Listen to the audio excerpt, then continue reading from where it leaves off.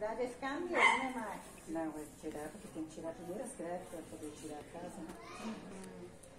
Depois vai pôr de novo, né? Depois sim, né? não põe uhum. outras não vai ser de vidro, não? Não sei como é que nós vamos fazer. Né? Vamos ver o que vai sair mais barato.